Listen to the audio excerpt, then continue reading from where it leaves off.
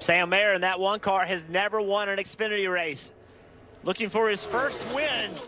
Sam's hoping to be able to get a little bit more help down this back back. straightaway from the 39 car of Sieg. Look at this third lane on the outside. It's got some momentum. Oh, spin. Myatt Snider, right rear tire down. Myatt Snider slides. He's on the Cut it right infield here, coming to the asphalt. finish, guys. Try and get it rolling. They're going to see if he'll be able to continue.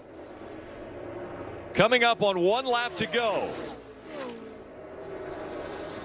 He's trying to roll. He is now moving in the right direction.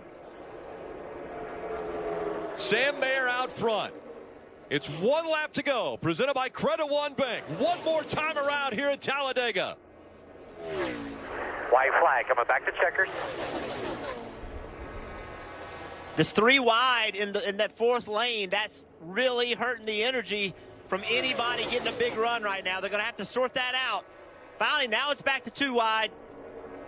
Here comes Josh Berry in the eights. Now, Sam Mayer, where does he go? A big run out of A.J. Allmendinger. He puts the bumper to the back of him.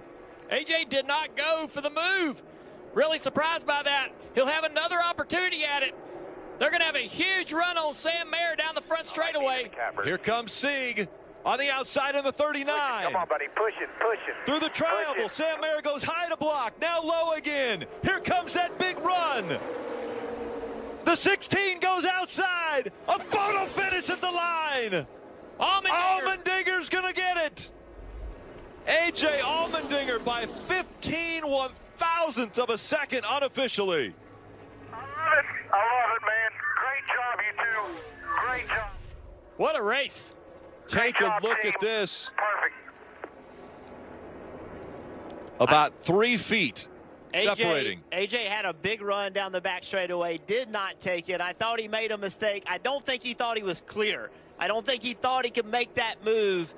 Fat got did a great job of slowing down, getting a run from behind. That gave him a huge push.